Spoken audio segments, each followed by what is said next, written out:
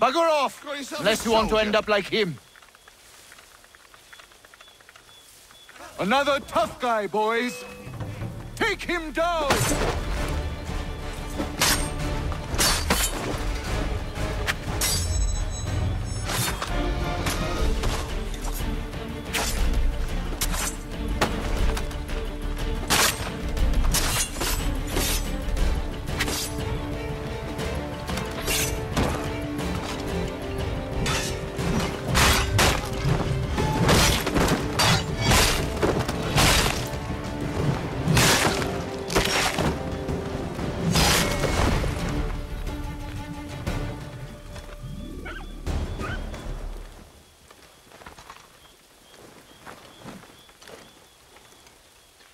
Get back! Or put a ball through his temple!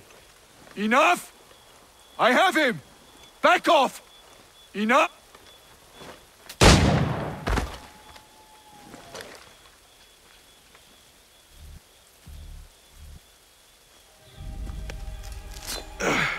Are you hurt? Nothing that won't mend. Thank you, stranger. What were they doing? This lot was dragging me through the countryside trying to make an example of a deserter. Sorry now, who are you? Connor. A deserter, you say?